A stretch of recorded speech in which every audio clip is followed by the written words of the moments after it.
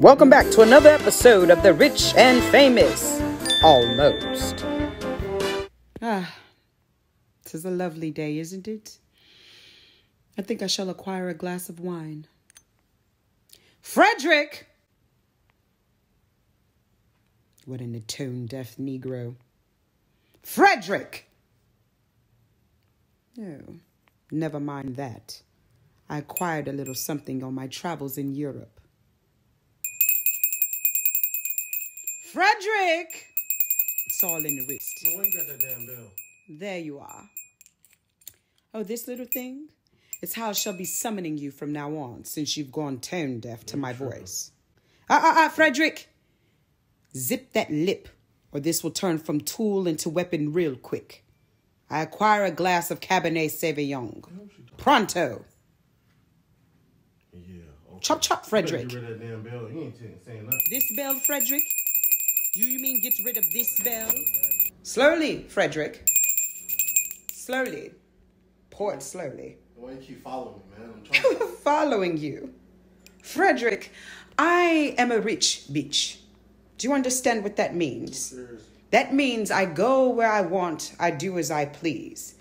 Following is for fans, Frederick. I'm no fan of the way you're pouring my glass of wine, as if you're going to be serving some sort of peasant or some sort. You need to pipe down, right? No, what you need to do is fill her up. Stop making me wait. Fill her up, Frederick. How long can you do this? All damn day. Fill her up. Come along now, Frederick. I'm thirsty. Shall be retiring to my quarters now. Oh, dear God, no. Stairs. Frederick! Not that bell again. Ah, there you are. I say stop ringing that bell. Nonsense, Frederick. Well, I'm about to go to sleep. What? I need your backside. What?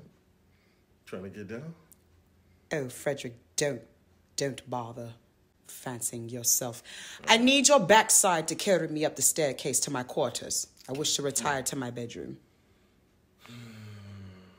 Oh, don't look so down, Frederick. Oh, You're as strong as an ox, and I'm as light as a feather. Come along now. Up the stairs. Just this once, man. That's a good lad. Oh, tell you. Frederick, things bend do- down. The things I do. There's a lot of rump roast back here. Yeah. You're thicky, thicky, thicky, thick, That's what she said.